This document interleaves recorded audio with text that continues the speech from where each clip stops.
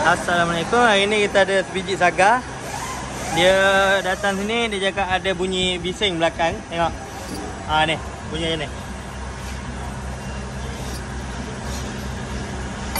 Ha.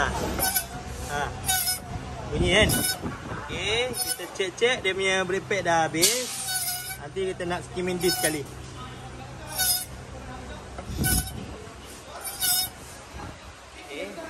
Kita tengok sampai siap dia servis. Lepas tu kita test.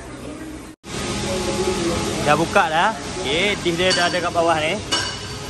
Yang tadi yang dia bunyi set set set tu, ni nampak.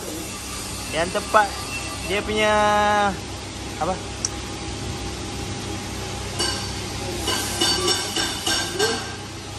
Kalau brepek habis dia akan kena benda ni.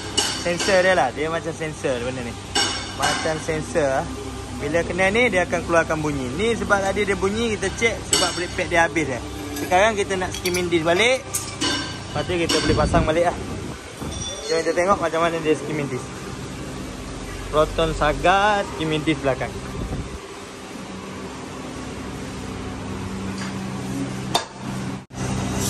Ni disc Proton Saga dia. Dia dah skim lah. Ha. Ini dah nipis lah. Kita skim.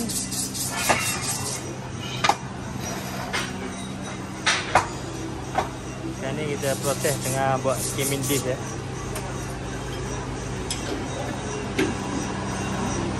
Ini boleh tengah jalan. Yang tengah menonton tu boleh tekan button subscribe dan share. Yang mana sebab Ni yang depan kita dah siap skim lah. Nampak? Potong saga. Yang mana tekan brake bergegar. Nak tukar brake pad boleh bawa datang sini. Okey, dah, dah siap. Ni yang belakang tadi kita tengah pasang. Tak. Dia servis dah, letak grease, tukar pad baru.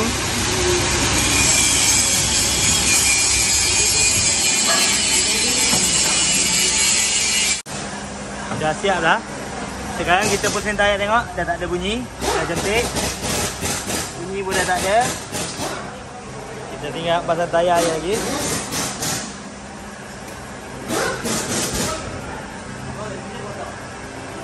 Pasang tayar.